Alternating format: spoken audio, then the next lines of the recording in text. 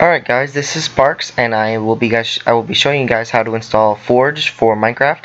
So first thing you're going to want to do is you want to go to options, you want to force update your game.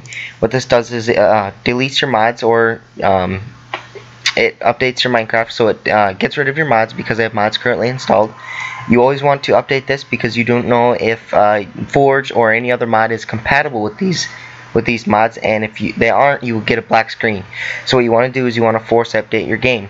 Now once it is force updated and you see the start menu um, like right now you're going to want to always close your game. You always want to make sure Minecraft is closed when installing mods.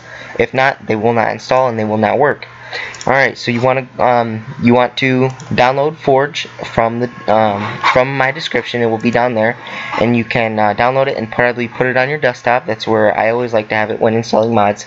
So you're gonna want to go to Start. You want to type in percent a p p d a t a. That's percent app data and percent. Now you'll see the roaming folder. You want to click on the roaming folder.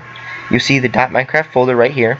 You want to open this. You want to open bin you want and go down here and you want to right click open with WinRAR. If you don't already have WinRAR it will also be in my description. You want to download that. So now once you are in the minecraft.jar folder with WinRAR you want to locate the meta-inf you always want to delete meta-inf it does not allow your mods to be installed. Um, so once that is deleted you want to open Minecraft Forge.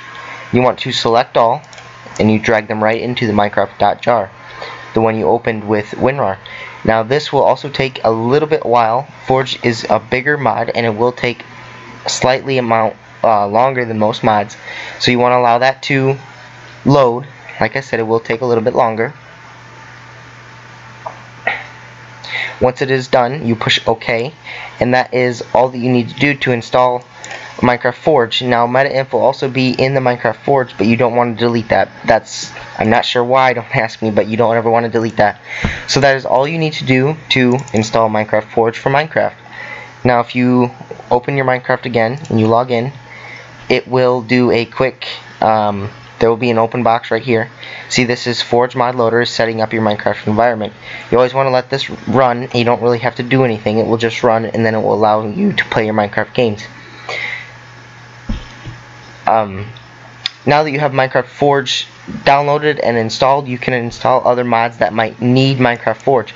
It's a really simple download, guys, so if you guys uh, are um, having problems with it, please rewatch this video and try to redo it.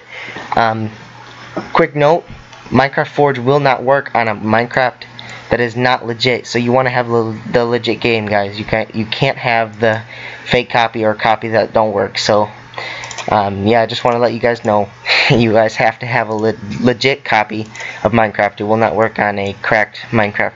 So thank you guys for watching and subscribe for more. Or uh, if you're still having problems, let uh, let me know in the comments and I'll try to help you as best as I can. Thanks.